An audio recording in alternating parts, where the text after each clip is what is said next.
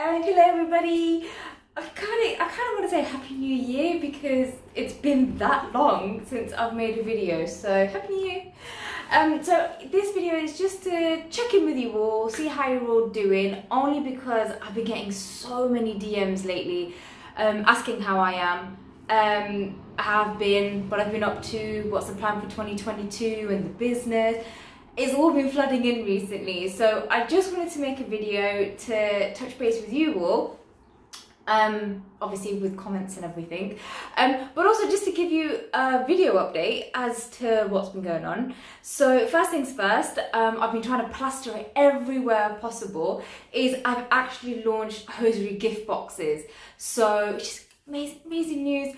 Um, so the first element of it, which I thought would be a great introduction, um, is for Valentine's Day. Um, and I've done a box which is basically I've kind of had to do two separate ones, one for the UK and one for worldwide, just because there's some elements to it, well, one element really, um, that I can't include in the worldwide. But all that information is on um, on the website. But it's just a box to start it all off. Um, so one, you get discounted hosiery, which is great. Two, I've actually popped in some um, some of my new exclusive hosiery gloves. You'll only get access to these once you buy the gift box. They will be released um, this year. I won't say when because I know everybody's gonna be like, oh, you know, I want to I want to wait till then. Um, so yes, I haven't actually got a specific launch date yet, but they will be released this year. So this is the prime opportunity to get hold of these new gloves. Um, and not only that, I'm packing it with love, it's scented, it smells great. I'm working with some independent brands, so I've added in soy candles, some recycled um, biodegradable petals, um, wrapping in acid-free tissue, which is also fragranced and recycled. It's all going on. It's all going on. So these boxes are amazing. I've sold so many of them um, since I launched them, I think last, last week. I'm sure it was, or maybe the week before. I can't think exactly when. But what I will say is the cutoff date for the Valentine's box is the 4th of Feb. Purely because one, I want to make sure all the boxes get out sent like sent out in time, and two is especially if you're um, ordering worldwide, I need to make sure they're there hopefully before Valentine's Day. I know they're having a couple of issues at the moment with courier services and stuff. Um, so this is why obviously I wanted to have such a short deadline for it, just because I want to make sure they're out and they're there um, for your loved one or yourself. Because I'm basically like, you know what? You know what? One nice thing about these boxes are, I've had people gift them so to their loved ones. Um, I've actually had people buy them for their best friends. So it's if they're picking up one of their girlfriends, but like, look, girl, do you know what? Going through a bit of a hard time. Let me cheer you up. Same with guys. I've had loads of people gift their partners who are into hosiery the gift box.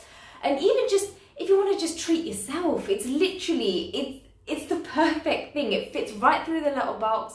And it's just one of those cute little things when you unwrap it and everything, you get to see all these amazing goodies. So that's one thing that I'm super, super hyped about at the moment because I love packing them. I cannot tell you how much I love packing them. Um, so yeah, so it's something new, something exciting, and something I will be doing going forward. I will be having different themes, um, but for now, I'm starting off with the Valentine's box.